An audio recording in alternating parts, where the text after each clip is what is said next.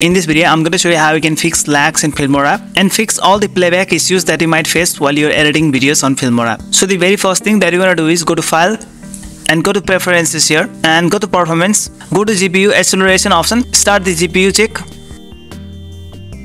We can restart later and if your Filmora is a bit too much laggy, then we can enable hardware acceleration here. Also take the second option when you come to the second option here, preview render, this is also one of the reasons that makes Filmora laggy. So we're gonna enable this background render option so that all the media files that we import in Filmora will automatically start to render. And also make sure that this option is checked here, automatically delete render files when the project file is closed.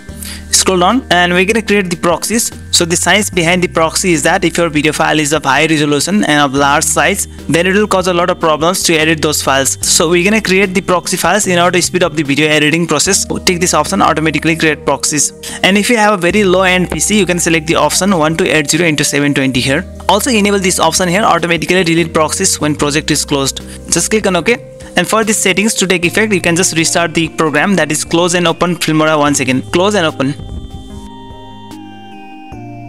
Now there are two extra things that you can do. That is you can set the player quality to 1 by 2 or 1 by 4 Choosing a bit low quality player on Filmora will make use of less resources on Filmora and it will fix the lag issues and playback. Also there's one more thing that is while you're editing on Filmora, if there are any unwanted apps on the background you can just close them all.